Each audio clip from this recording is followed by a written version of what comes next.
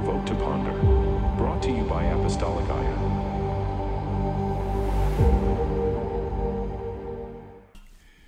Greetings in Jesus' name. I'm Bishop Chester Wright, and this is the next episode of Provoked to Ponder. COVID was difficult on everyone. That is a gross understatement, isn't it? And so many of us prayed and prayed and prayed for God to take COVID away. We did spiritual warfare to bind it, rebuke it. How'd that work out for you? It didn't work. Paul experienced something similar to that in 2 Corinthians chapter 12. And uh, the scripture says, because of the abundance of revelations he had, there was given unto me a messenger of Satan sent to buffet me because of the abundance of revelation. And he said, I prayed three times for God to take that away. And the Lord's answer every time was, No, my grace is enough. My grace is sufficient. God didn't cause COVID, but it's impossible for COVID to have happened without his permission.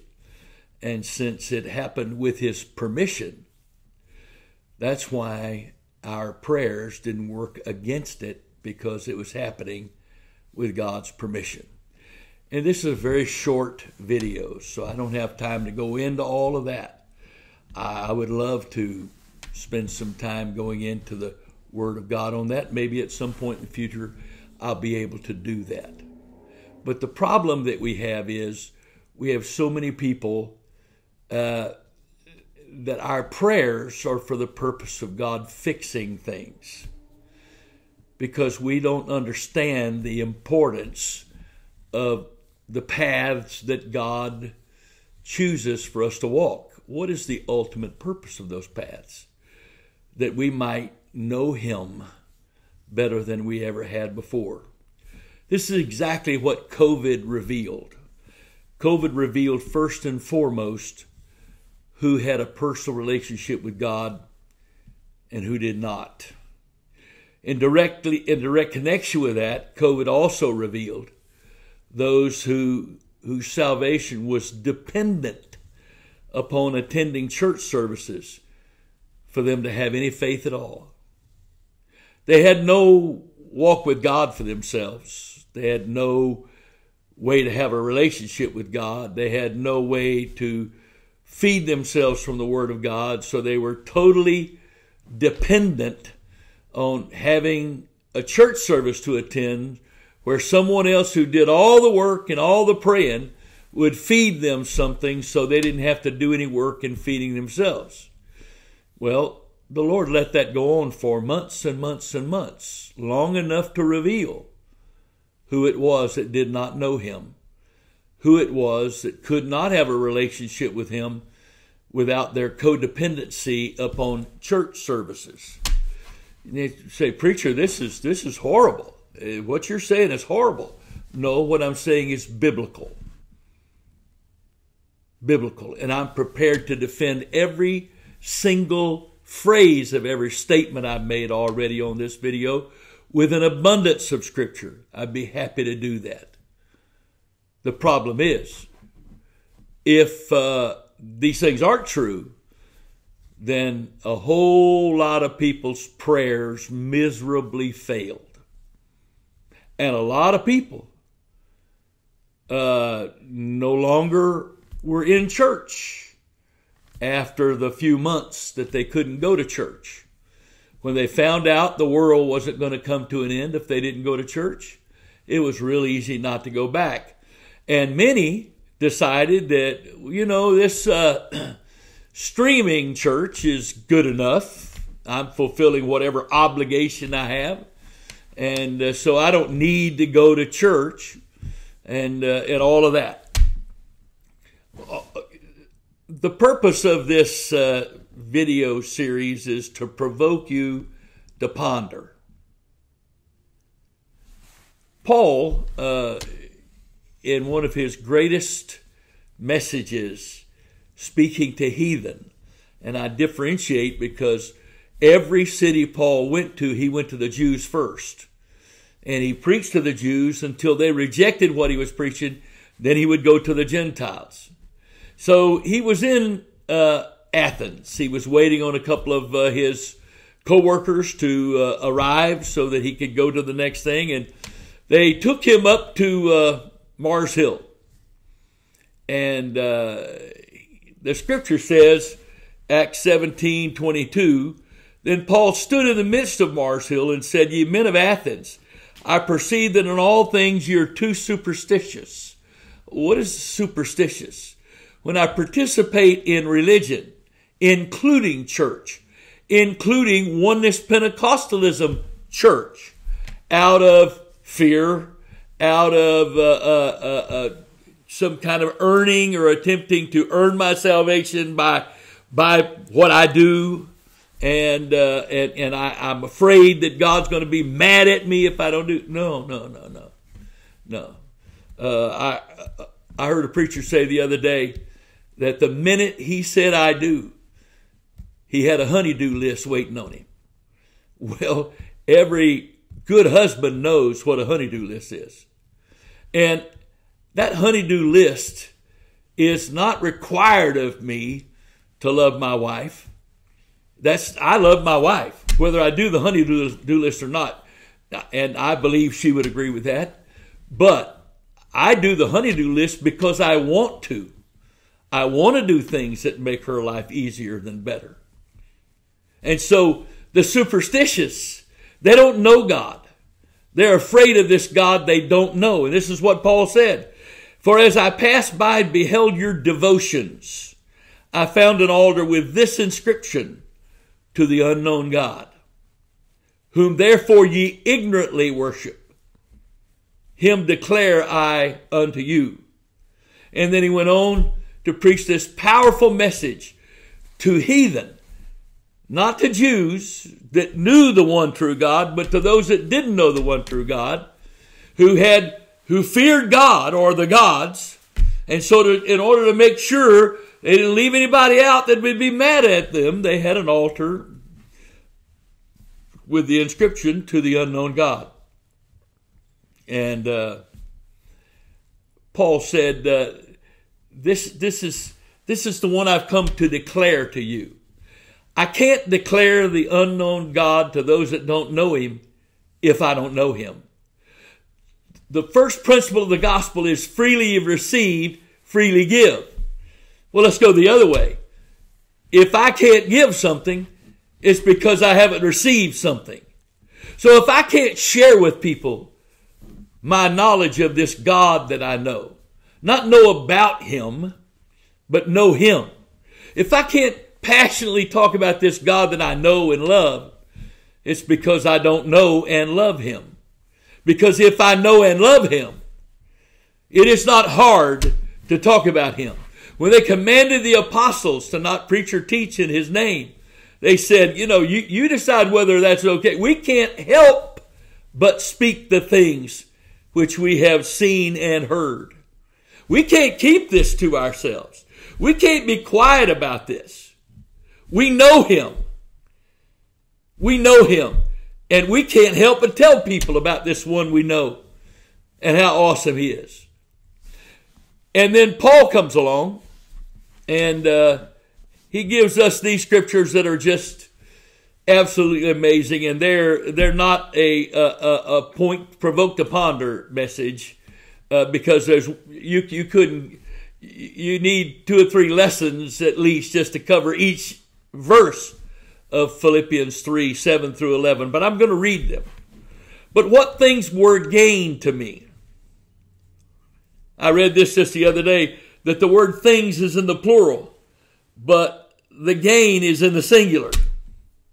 So he lumped all everything that was of value to him, lumped it together as gain, and he said, I counted all of that but loss. Again, that's singular for Christ. He lumped everything together as this one overall thing of everything that was gained to him, and he counted that loss for Christ. The word loss there is a noun. It's a singular noun. Yea, doubtless, and I count all things but loss for the excellency of the knowledge of Christ Jesus my Lord, for whom I have suffered the loss of all things, and do count them but dung, that I may win Christ. Don't look up that Greek word dung because you won't be willing to, to use that terminology uh, in speaking to people because it is it is the Greek word for excrement. Paul was being very, very literal. That these things he had given up for Christ, he counted them, he counted them so lost that it was no different than his body being relieved of excrement. Now that's that's that's counting that why? That I may win Christ. That I may win Christ for the excellency of the knowledge of Christ Jesus my Lord. I count all this that I've lost. Everything, all those things, plural, that were gained to me, I count all of them as a loss for Christ because I want to win Christ. I want the excellency of the knowledge of Christ Jesus my Lord and be found in Him, not having mine own righteousness, which is of the law, but that which is through the faith of Christ, the righteousness which is of God by faith, that I may know him. And the word know here means to, to know experientially, to know relationally, not just intellectually, that I may know him. And he named two ways that we get to know the Lord personally. We get to know the person of God personally and that is that I may know him in the power of his resurrection. That's where we all started. We all started with being buried with Christ in water baptism and resurrected with Christ in the newness of life through the baptism of the Holy Ghost. We all so we all got we all of our journey in knowing God started with the resurrection. But that's not how most of us deepen our knowledge of him and the fellowship of his sufferings. This word fellowship here is a, is a powerful word. It is the Greek word koinonia, which means to have a portion or share or participate in something with someone else where you share equally with them. The Bible says, if we suffer with him, we shall reign with him. He said, uh, if they hated me, your master, they're going to hate you too. He said, beware when all men speak well of you. And he goes on and on and on. He, he, he talks about the fact that we're going to suffer. Not because we've done wrong, because it's in that suffering that we draw close to Him and we, we deepen our personal knowledge of Him. Our relational knowledge of Him deepens in our times of trial and suffering. So Paul said, I, I, I count all this for lost for Christ, that I, I would know the, have the excellency of the knowledge of Christ Jesus my Lord, and, and, and I want to win Christ, and I, and I want to be in Him, and I want to have His righteousness, and I want to know Him, the power of His resurrection, and through the fellowship of His suffering, being made conformable unto His death, if by any means I might attain unto the resurrection of the dead. I want to know Him in trial and test so that I might know him in the final resurrection. He's coming for those that know him. He said, Matthew chapter 7, verses 21 through 23. Not everyone that says unto me, Lord, Lord, is going to enter into the kingdom of heaven, but he, but he that doeth the will of my Father which is in heaven. Many would, he said, many would say unto me, will say unto me in that day, in the day of judgment, Lord, Lord, we have prophesied in thy name. And in thy name we've cast out devils. And in thy name we've done many wonderful works. And he said, I'm going to say unto them, Depart from me. I never knew you. You're a worker of iniquity. Wait a minute. They, they called him Lord, Lord. They emphasized the name, which is what people do. They're baptized in the name. And they had the manifested power of God working in them through prophesying, casting out devils, and doing miracles. And he said, I never knew you. Well, how can that be? Because he, the Greek word there doesn't mean he had no knowledge of them. It means he never had a relationship with them that he approved of. He never approved of his relationship with them.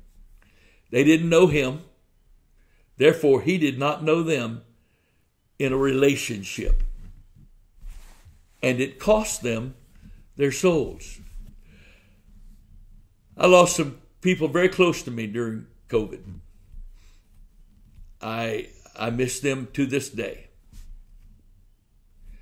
But I don't begrudge anybody who had the opportunity uh, to finish this race, run their course, and receive their crown.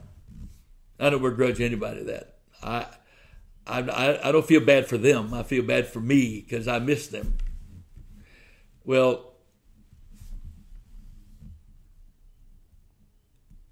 knowing Him, knowing Him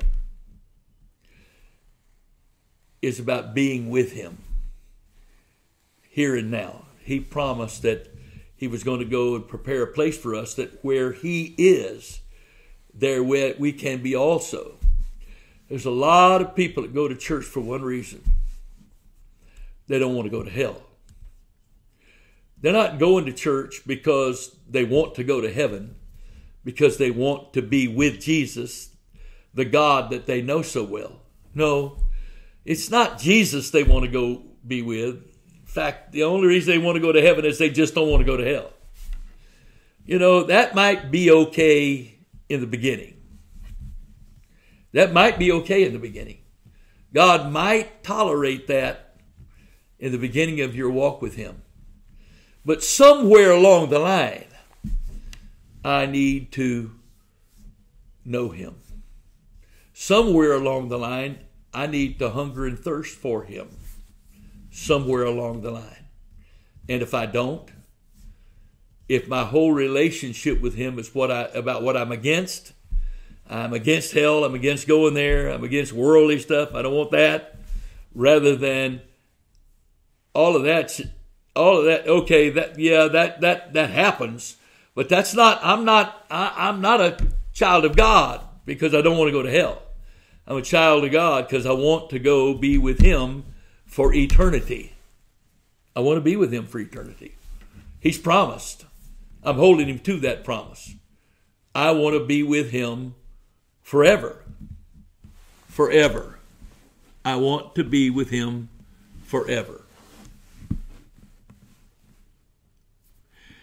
because I know him, because I love him, and I know he loves me.